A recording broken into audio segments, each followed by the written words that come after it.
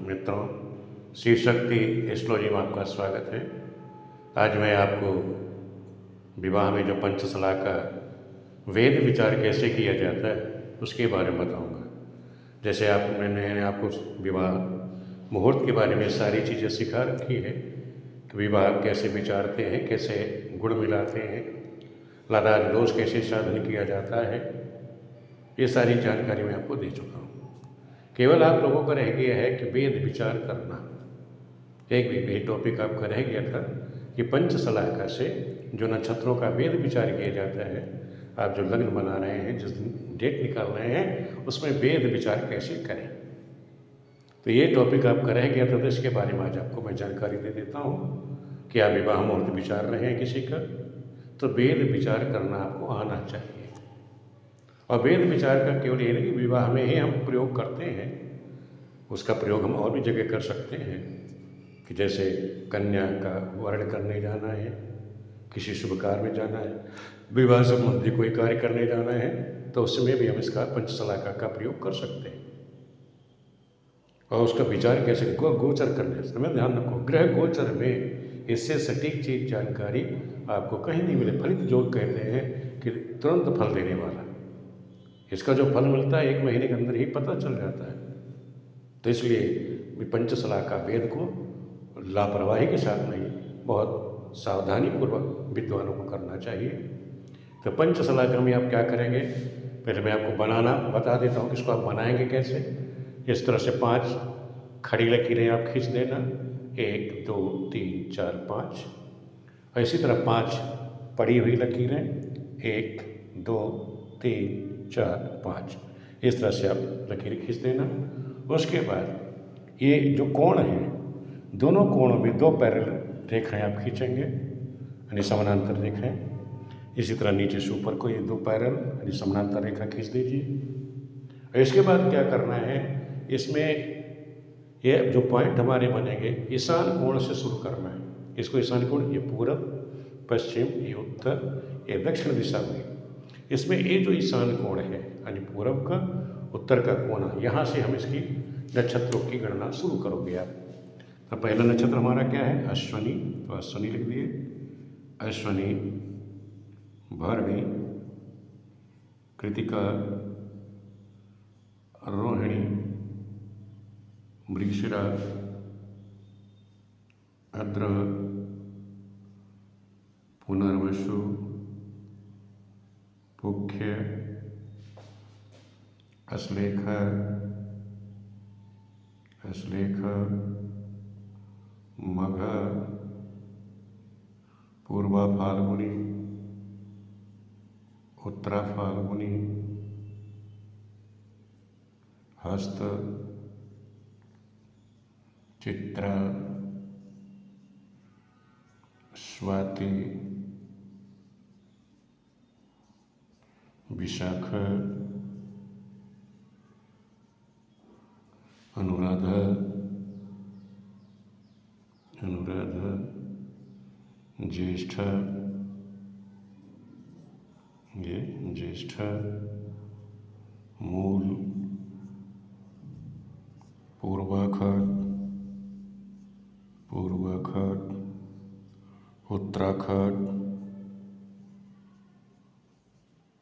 श्रवण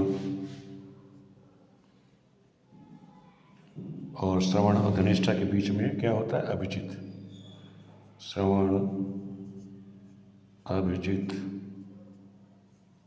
धनिष्ठ शतभिख पूर्वा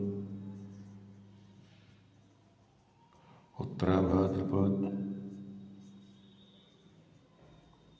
और युवती इस प्रकार आप अट्ठाईसों नक्षत्र को इस तरह क्रम से आप जहाँ जहाँ बिंदु हैं, सब पर लिख देंगे। अब हमें इसका विचार करना है, जो बिंदु देखते हैं, जो रेखाएँ आई हैं, किस जो रेखा के सामने जो नक्षत्र होगा, ये इसका भेद कर रहा है। अब हमें क्या करना है, माना विवाह करना है। किसी बच्चे के विवाह के बारे में जानकारी करनी है।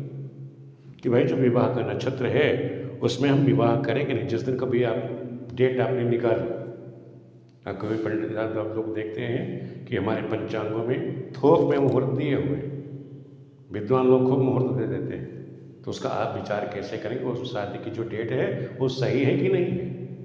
तो उसमें आप इसी तरह पंचम सलाह का बना लेना। मान लो हमारा नक्षत्र है रोहिणी, ये विवाह का नक्षत्र है। अब इस रोहिणी नक्षत्र के सामने आपने देखा कौन सा नक्षत्र? श्रवण आ रहा है अब कोई भी ग्रह आपकी, कोई भी पाप ग्रह पाप ग्रह कौन से हो गए? सूर्य, मंगल, शनि, राहु, केतु।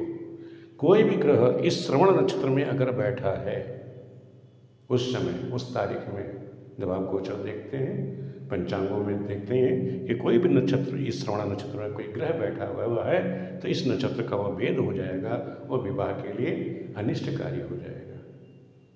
वो विवाह करने के योग नहीं है। अगर शुभ ग्रह बैठे हैं, तब भी वे ग्रह का वेद हो जाता है। लेकिन ध्यान रखें, पाप ग्रहों का ध्यान रखिएगा। केवल शुभ ग्रह के बारे में नहीं कहा गया है। केवल यदि रोहिणी नक्षत्र से के सामने जो नक्षत्र है, जैसे रोहिणी हमने लिया तो उसके सामने श्रवण नक्षत्र है, यहाँ कोई पाप ग्रह बैठी है तो वो वेद हो जाएगा। वो सूर्य है, मंगल हो, शनि हो, राहु हो, केतु हो तो वो वेद हो जाएगा, यानी वो शुभ कार्य के लिए अनिष्टकारी होगा। नेक्स्ट समझ लो, जैसे वृक्षरा नक्षत्र है वृक्ष के सामने आप क्या देख रहे हैं? उत्तराखंड उत्तराखंड नक्षत्र है। अब उत्तराखंड नक्षत्र में आपने देखा कि यहाँ पर कोई ग्रह बैठी हुई है। कोई भी पाप ग्रह बैठी है तो उस इस नक्षत्र का और वेद मतलब वृक्ष हमने साथ उसने पंडित जी ने दे रखा है। पंचांग में ग्रह नक्षत्र है। और आपने जब कुंडली में देखा, ग्रहों के ग्रह स्पष्ट देखा कि उत्तराखंड नक्षत्र में वहाँ कोई पाप ग्रह बैठी हुई है तो उस नक्षत्र का वेद हो जाएगा। तो उस तारीख में आप विवाह की डेट नहीं निकालेंगे। आप विवाह की डेट निकालेंगे वो उस जातक के लिए अशुभकारी हो जाता दाम्पत्य जीवन के अशुभकारी हो जाएगा और इसका जो फल है बहुत जल्दी मिल जाता है। एक महीने में अपना फल दे देता है। दूसरा समझ लो मान लो ये उत्तरा फाल्गुनी नक्षत्र है। ये उत्तरा फाल्गुनी नक्षत्र विवाह का होता है, हम जानते हैं। इस विवाह के नक्षत्र में हमने ये डेट निकाली, कोई डेट पे उत्तरा फाल्गुनी नक्षत्र है, विवाह की डेट हमने निकाल दी। अब हमने देखा कि उत्तरा फाल्गुनी नक्षत्र में जो हम ग्रह गोचर देखते हैं ग्रह गोचर में इसके सामने कौन सा नक्षत्र है? रेवती। रेवती नक्षत्र में है, मंगल है या शनि है या राहु केतु बैठा हुआ है।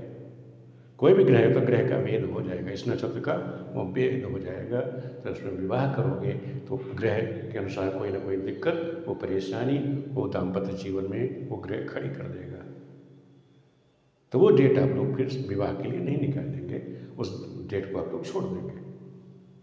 अब मैं आपको इसके बारे में पूरी जानकारी देता हूँ कि आप लोगों को देखना कैसे पंचसलाका के बारे में पूरी जानकारी मैं आपको दे दूँ कि वेद नक्षत्रों में, ये ध्यान रखो, वेद नक्षत्रों में ग्रह होने से दोनों नक्षत्र आपस में विद्ध होते क्या कहना है कि वेद नक्षत्रों में, वेद नक्षत्र क्या हो गया? जैसे मैंने बताया कि जो सामने से कृतिका का वेद क्या हो गया? विशाखा क्रॉस में ले लिया हमने भरणीम्स का अनुराधा, ये क्या कहलाते हैं? वेद। ये वेद नक्षत्रों में, ये दोनों आपस में क्या हो गए? एक दूसरे के वेद नक्षत्र हैं। और इसमें नक्षत्रों में ग्रह होने से, चाहे यहाँ कृतिका में हो या विशाखा में हो कोई भी ग्रह नक्षत्र में यहाँ पे ग्रह हो तो आपस में वो वेद हो जाएगा। ग्रह होने से दोनों नक्षत्र आपस में विद्ध होते हैं, यानी अशुभकारी हो जाते हैं। वो ग्रह ऐसा नहीं जैसे रोहिणी नक्षत्र का आपने देखा, श्रवण है। तो ये दोनों ही नक्षत्र आपस में अशुभकारी हो जाते हैं उस समय। ये विवाह के योग नहीं हो जाते। विवाह ही नहीं, कोई भी शुभ कार्य करने जा रहे हैं, चाहे वधु प्रवेश हो, दान है, वर्ण है, इस तरह के कार्यों के योग विद्ध हो जाता है। नेक्स्ट समझ लीजिए। इसका जो हम विचार करते हैं, मैंने कहा कि पंच का बनाना, पाँच खड़ी, पाँच आड़ी रेखाएँ खींचनी है, और दो क्रॉस में दोनों को पैरल मिलाना है, कॉर्नरों को। पैरलों को समानांतर मिलाना है। और ये ईशान कोण से ही हम गणना प्रारंभ करते हैं अट्ठाईस नक्षत्रों की।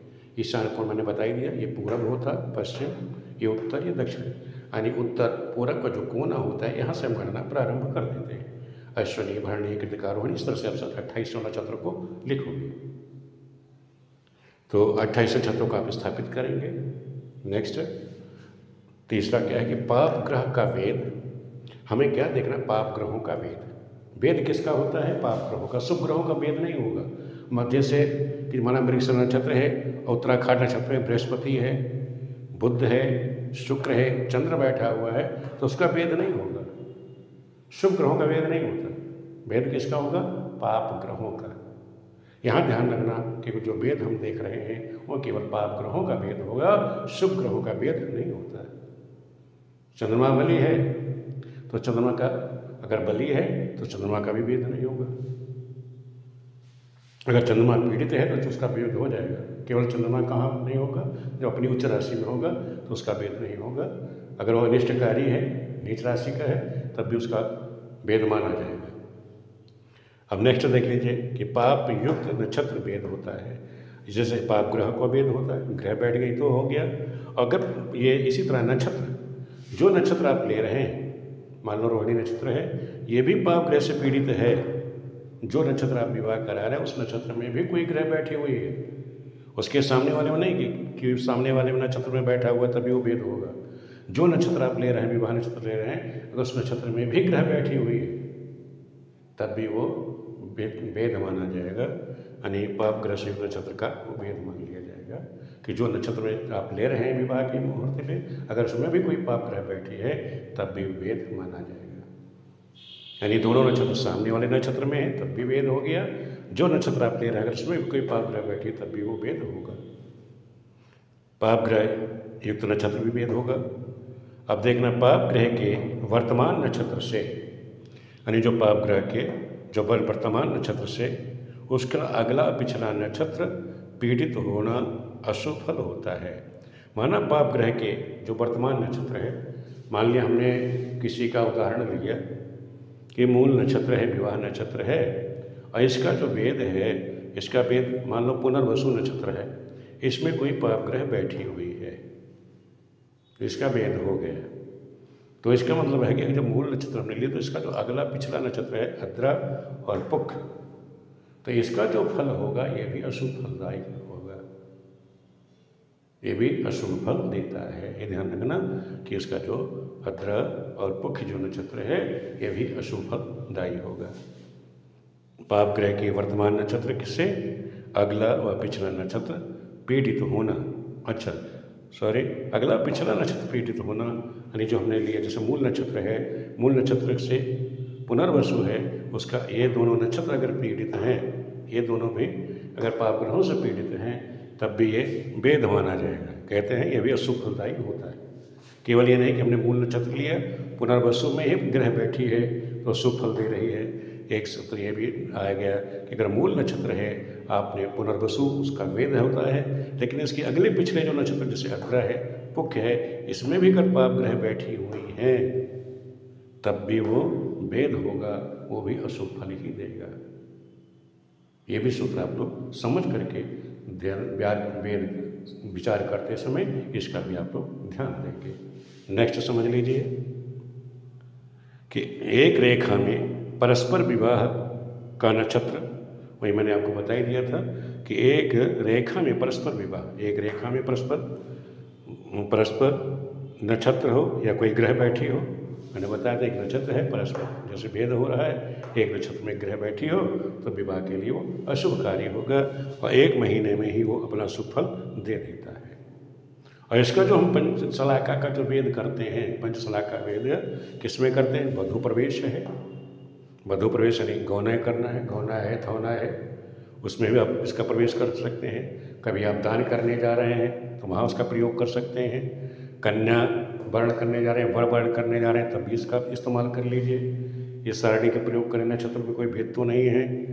या विवाह के कार्य है, मैंने कहा विवाह का कार्य है, उसमें विवाह में तो देखना ही देखना है, विचार करना ही करना है। विवाह के कार्य में इस पंचसलाका का हम प्रयोग करते हैं। तो इस तरह मैंने आज आपको बताया कि जब हम विवाह संस्कार करते हैं तो उसमें हमको ध्यान रखना चाहिए। कि पंचसला का जो दोष है, वो नहीं होना चाहिए। इसका वेद जो पंच का है, ये नहीं होना चाहिए। नक्षत्रों का वेद आपस में है, उसमें आप कोई कार्य कर देंगे तो दिक्कत आ जाएगी। एक सूत्र